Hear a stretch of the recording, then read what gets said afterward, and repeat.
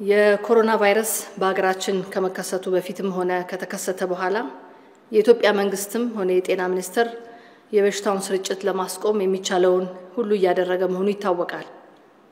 በሕክምናው ዙሪያ በሽታው ሊኖርባቸው የሚችሉ ሰዎችን በመለየትና አስፈላጊውን ምርመራና ሕክምና ከማድረግ ጀምሮ በአጠቃላይ የስርጭቱን ሁኔታ ለመገደብ እና ለመቆጣጠር ትምህርት ቤቶችን ከመዝጋት ጀምሮ የመንግስት ስራን ከመቀነስ አላስፈላጊ እንቅስቃሴዎችን ከመገደብ እና በተለያየ ሁኔታ ወደ ሀገር የሚገቡ ሰዎችን አስገዳጅ ለይቶ ማቆያ ውስጥ የማስገባት በረራዎችን የመቀነስና የመንገድ የየብስ በሮችን ከመዝጋት እነዚህን የመሳሰሉ የተለያዩ እርምጃዎችን እየወሰደ ይገኛል። እነዚህም ለቫይረሱ ስርጭት ለመገደብ ትልቅ አስተዋጽኦ የሚኖራቸው ቢሆኑም አሁንም በቫይረሱ የተያዙ ሰዎች ቁጥር በየጊዜው እየጨመረ ነው። በዛሬው ዕለት የመጀመሪያው የኮሮና ቫይረስ ሞት በኢትዮጵያ መመዝገቡን ስገልጽ እጅግ በሐዘን ነው። እኚህ በዛሬው ዕለት ሕይወታቸው ያለፈው ግለሰብ የ60 ዓመት ሴት ሲሆኑ የፈረንሳይ ሀገር ጉዞ የነበራቸውና የኮቪድ-19 ህመም ስሜቶች በማሳየታቸው መጋቢት 19 በየካ ኮተቤ ሆስፒታል ገብተው ቫይረሱ እንዳለባቸው ከተረጋገጠ በኋላ የሕክምና ክትትል ሲያደርጉ ቆይተዋል። የነበራቸውም ሁኔታ በጥቂት ቀናት ውስጥ ስለተባባሰ መጋቢት 22 ላይ በጽኑ ህሙማን ክፍል የመተንፈሻ አካል ድጋፍ ወይም ቬንቲሌተር ላይ ተደርገው የሕክምና ክትትል ሲደረግላቸው ቢቆይም በዛሬው ዕለት ጠዋት መጋቢት 27 ህይወታቸው አልፏል። ይህ ሞት ለኢትዮጵያ የመጀመሪያው ቢሆንም በአህጉራችን አፍሪካ እስከ ዛሬው ዕለት 334 ሰዎች ሞተዋል።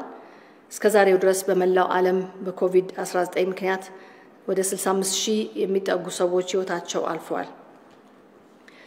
እንደ ሀገር ዛሬ ቫይረሱ እንዳለባቸው ከተረጋገጡት አምስት ሰዎች ጋር በአሁኑ ሰዓት 43 ሰዎች በበሽታው የተያዙ ሲሆን አንድ ግለሰብ አሁንም በጽኑ ህሙማን ውስጥ እየታከሙ ይገኛሉ።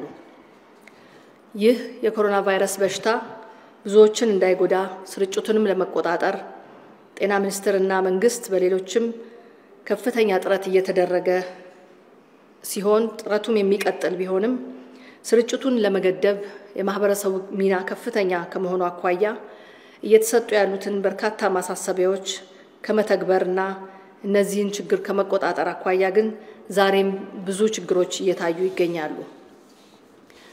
አሁንም የሚሰጡትን ማሳሰቢያዎች በተመለከተ የሚታዩት እንቅስቃሴዎች አሁን ያለውን ችግር የማያገናዝብና ካለው ሁኔታ ጋር አብሮ የማይሄድ ነው።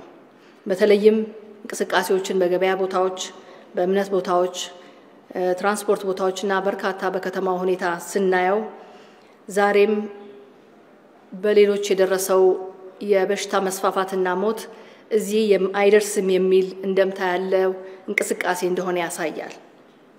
ስለዚህ አሁንም አሁንም ደግመን ማሳሰብ የምንፈልገው ይህም በሽታ መቆጣጠርና ስርጭቱን መገደብ በርካታዎችንም ሕይወት መቅጠፍ እንዳይችል ማድረግ የምንችለው የሚሰጡትን ማሳሰቢያዎች በመተግበር አሁንም ርቀታችንን የእያንዳንዳችን በመጠበቅ ባልታጠበ እጅ ፊታችንን፣ አፍንጫ፣ አፋችንን አለመንካት፣ የህመም ስሜት ሲኖረን የህመም ስሜት ሲኖረን በተለይ አፍና አፍንጫችንን በመሸፈን የሚሰጡትን በርካታ ማሳሰቢያዎች በጤና ሚኒስቴር በመንግስት የሚወጡትን ማሳሰቢያዎችን በመተግበር ከምን ጊዜውም የበለጠ ጥንቃቄ በማድረግ ራሳችንን ቤተሰባችንና ማህበረሰባችንን እንድንጠብቅ እያልኩ በዛሬው ዕለት ህይወታቸውን ስላጡት ሟች ቤተሰቦችና ወዳጆች በራሴና በጤና ሚኒስቴር በጠቅላላ በመንግስትም ስም መጽናናትን ከልብ እመኛለሁ። አመሰግናለሁ።